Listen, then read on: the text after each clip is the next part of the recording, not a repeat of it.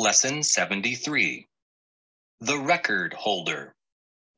First listen and then answer the question Did the boy go where he wanted to? Children who play truant from school are unimaginative. A quiet day's fishing or eight hours in a cinema seeing the same film over and over again is usually as far as they get. They have all been put to shame by a boy who, while playing truant, traveled 1,600 miles. He hitchhiked to Dover and, towards evening, went into a boat to find somewhere to sleep. When he woke up next morning, he discovered that the boat had, in the meantime, traveled to Calais. No one noticed the boy as he crept off. From there, he hitchhiked to Paris in a lorry. The driver gave him a few biscuits and a cup of coffee and left him just outside the city. The next car the boy stopped did not take him into the center of Paris, as he hoped it would but to Perpignan on the French Spanish border. There he was picked up by a policeman and sent back to England by the local authorities. He has surely set up a record for the thousands of children who dream of evading school. Lesson 74 Out of the Limelight. First listen and then answer the question why was their disguise too perfect? An ancient bus stopped by a dry riverbed, and a party of famous actors and actresses got off. Dressed in dark glasses and old clothes, they had taken special precautions so that no one should recognize them. But as they soon discovered, disguises can sometimes be too perfect. This is a wonderful place for a picnic, said Gloria Gleam. It couldn't be better, Gloria. Brinksley Meers agreed. No newspaper men, no film fans. Why don't we come more often? Meanwhile, two other actors, Rockwall Slinger and Merlin Greeves had carried two large food baskets to a shady spot under some trees. When they had all made themselves comfortable, a stranger appeared. He looked very angry. Now you get out of here, all of you, he shouted. I'm sheriff here. Do you see that notice? It says no camping in case you can't read. Look, Sheriff, said Rockwall, don't be too hard on us. I'm Rockwall Slinger, and this is Merlin Greeves. Oh, is it? said the sheriff with a sneer. Well, I'm Brinksley Meers, and my other name is Gloria Gleam. Now you get out of here fast. Lesson 75 SOS. First listen and then answer the question How did the woman get help? When a light passenger plane flew off course some time ago, it crashed in the mountains and its pilot was killed. The only passengers, a young woman and her two baby daughters, were unhurt. It was the middle of winter. Snow lay thick on the ground. The woman knew that the nearest village was miles away. When it grew dark, she turned a suitcase into a bed and put the children inside it covering them with all the clothes she could find. During the night, it got terribly cold. The woman kept as near as she could to the children and even tried to get into the case herself, but it was too small.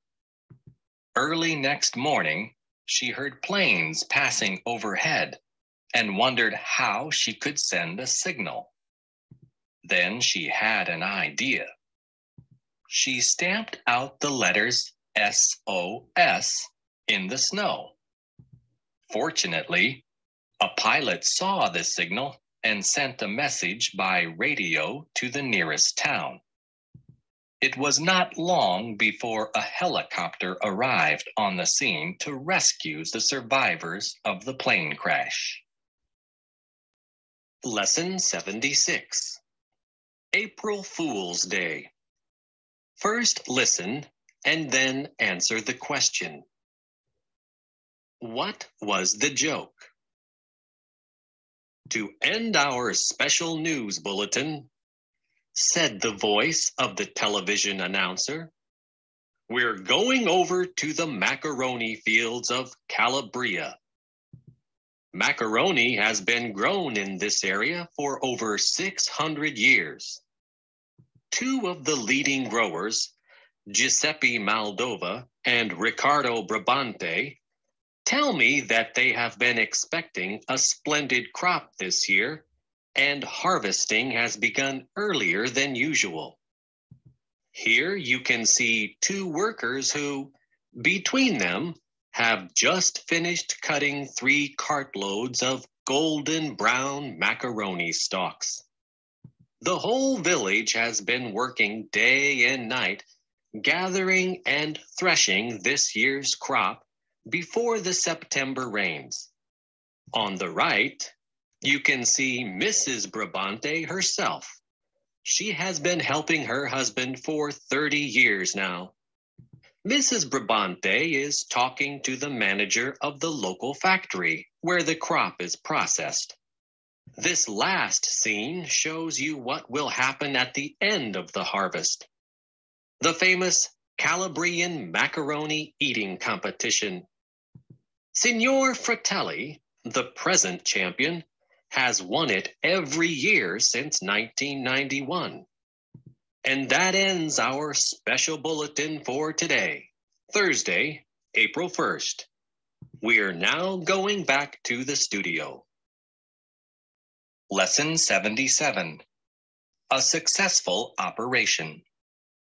First, listen and then answer the question Did the doctors find out how the woman died?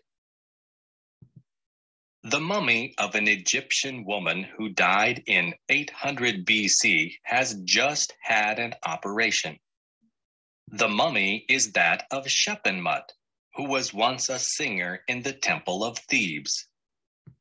As there were strange marks on the x ray plates taken of the mummy, doctors have been trying to find out whether the woman died of a rare disease. The only way to do this was to operate. The operation, which lasted for over four hours, proved to be very difficult because of the hard resin which covered the skin. The doctors removed a section of the mummy and sent it to a laboratory. They also found something which the x ray plates did not show a small wax figure of the god Duamatef. This god, which has the head of a cow, was normally placed inside a mummy. The doctors have not yet decided how the woman died. They feared that the mummy would fall to pieces when they cut it open, but fortunately, this has not happened. The mummy successfully survived the operation. Lesson 78 the last one. First listen and then answer the question. For how long did the writer give up smoking? After reading an article entitled Cigarette Smoking and Your Health, I lit a cigarette to calm my nerves. I smoked with concentration and pleasure as I was sure that this would be my last cigarette. For a whole week, I did not smoke at all, and during this time, my wife suffered terribly. I had all the usual symptoms of someone giving up smoking a bad temper and an enormous appetite. My friends kept on offering me cigarettes and cigars. They made no effort to hide their amusement whenever I produced a packet of sweets from my pocket. After seven days of this, I went to a party. Everybody around me was smoking, and I felt extremely uncomfortable. When my old friend Brian urged me to accept a cigarette, it was more than I could bear. I took one guiltily lit it, and smoked with satisfaction. My wife was delighted that things had returned to normal once more. Anyway, as Brian pointed out, it is the easiest thing in the world to give up smoking. He himself has done it lots of times.